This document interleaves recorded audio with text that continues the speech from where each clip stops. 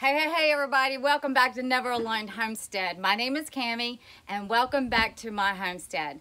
Well, guys, I have got my saw out here, my tile saw, my wet tile saw. Um, I haven't used it in a while. I actually did tiling into my bathroom and at the back door, and I've got one other place is in the front door. So I haven't been able to get to it this summer, so I'm trying to catch up on some projects here. And what these bricks are is for the fireplace. So I've been up since 2.30 a.m. I woke up and uh, the installers were here yesterday for the wood stove. I decided to hire some installers to do the wood stove. They were going to put the chimney in. There was an attic yesterday, so the attic and then, um, and there was supposed to be here today for the chimney, but last night at 2.30 a.m. I looked at the wood stove and I said, you know, something's wrong. So it wasn't anything with the installers it had to do with the company. They had sent the wrong piece that's supposed to go up under the uh, box, ceiling box, and then there's another piece that connects into an 18 inch double wall black stove pipe. So I've been up since 2.30 a.m. and today while they were supposed to be, uh, since I'm waiting on that order to come, come in for the right part, uh, they was going to be installing the chimney and today I was going to be cutting some fire bricks for that wood stove. Uh, this is a discontinued uh, stove. So when I looked up how much these fire bricks, or if I could even find the fire bricks, they were $35 a piece. So I went out to uh, Tractor Supply and got some bricks at $3.99, $4. So, uh, and decided that I will get my saw out, my wet tile saw, and try to cut these tiles um, cut these tiles, cut these fire bricks and for this wood stove. So actually, um, I only need um, one, two, three, four, five, six of them. But if you consider, uh, you know, $35 times six, and then you got to pay for the tax and then the shipping, this is, this is a, a good way to do this. So let me get started and uh, let's cut some fire brick.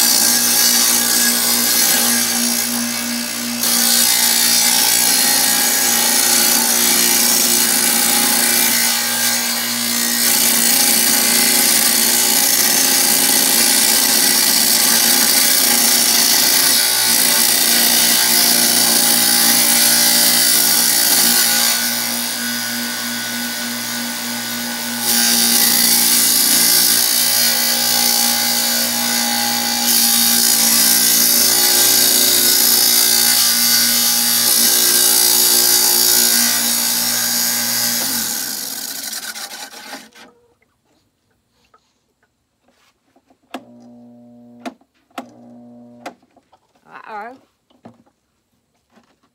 Well, this is a lesson. Don't forget to take the brick out. So I take everything as a learning process. It's nothing as a failure. It is a learning process.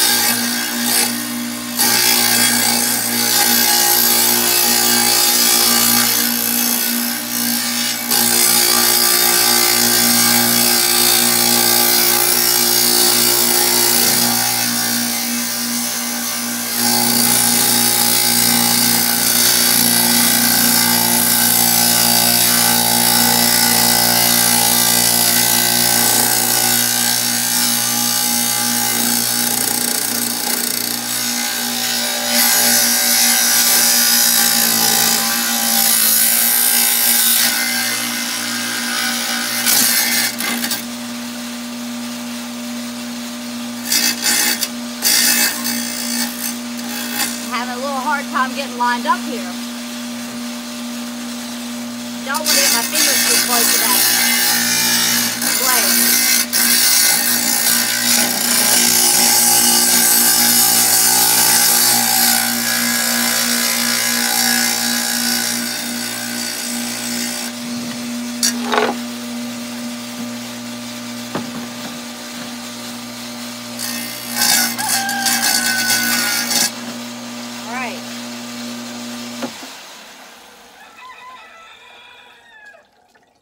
So that will work.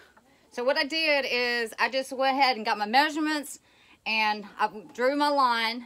And even though, um, because with this top on here, it's kind of hard to see really that blade and you got to be very careful with safety. You don't want to cut your fingers off. But when I have this up, it sprays all the water out and it's, that's the only thing I don't like about this. Um, got any tips about that, please share that with me. That would be great but it does spit water out. But it's 80, almost 85 degrees out here today. you know, last week it was, uh, it's really cold. It's going to get down to 62 tonight. But anyways, brick one. That's great. I'm excited about that. Very excited. Lots of money saved. I am excited. What am I'm going to do...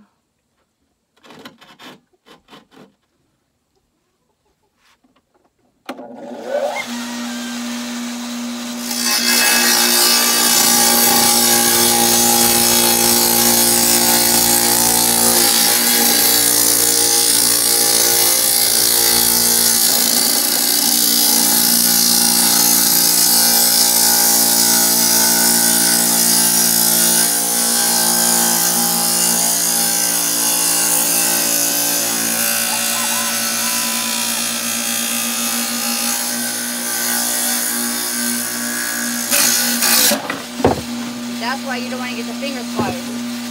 I'd rather stand back and take a chance because you know when you're dealing with stone or anything, it can it can it can adapt to do anything. So you got to be very careful with this blade. Well, this one's actually came out better than the other one, but it really doesn't matter because this part doesn't have to be perfect. The main thing is getting this measurement right here. Brick two. So this one, this one's going to be a little bit more trickier because I've got a, I just want to need that little corner cut off right there.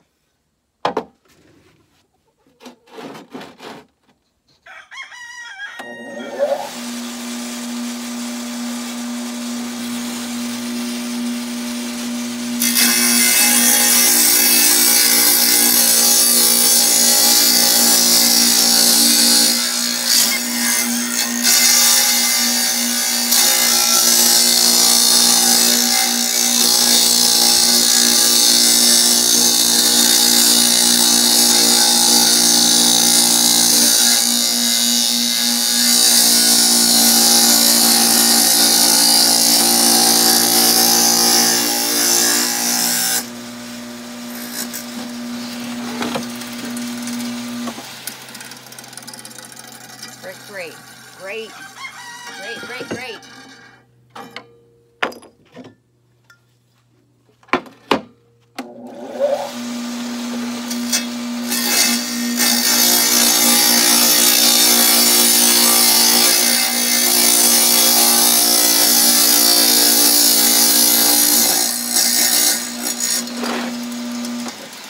Brick four. Two more bricks and this job will be, Excited now, y'all.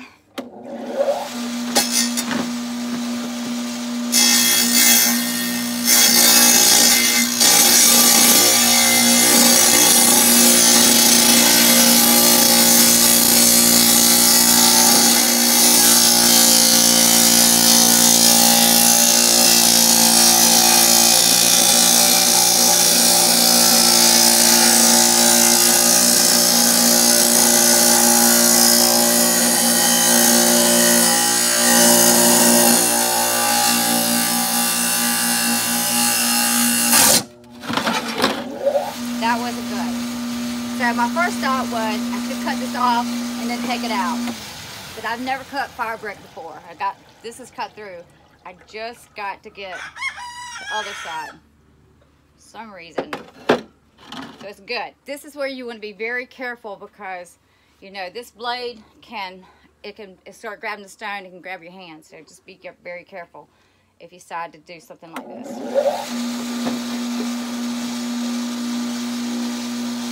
Make sure you wear these. These are safety glasses.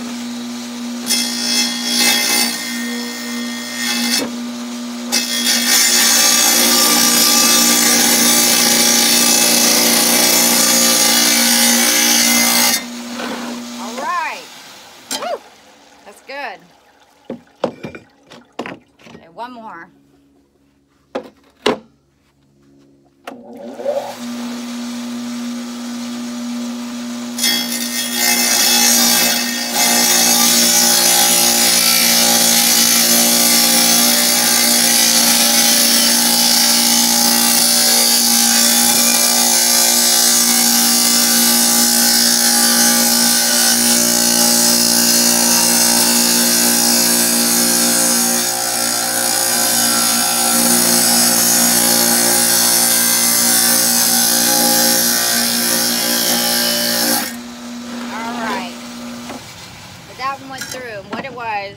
Is that this piece back here uh, just got in the way.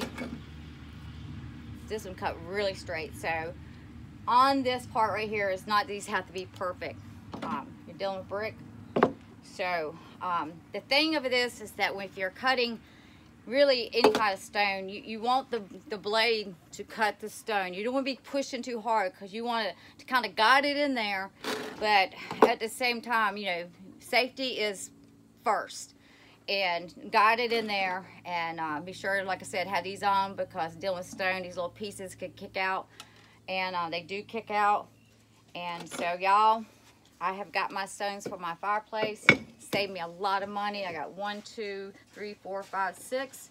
So you know say 30 bucks with tax um, I got all my stones fireplace stones or fireplace bricks for uh, for my wood stove and I'm so excited. So thank you so much for watching.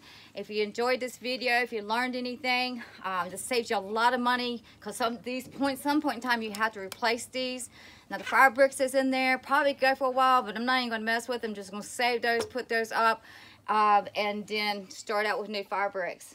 All right, guys, love y'all so much. Thank you for watching. Thank you for su subscribing. I appreciate all my subscribers.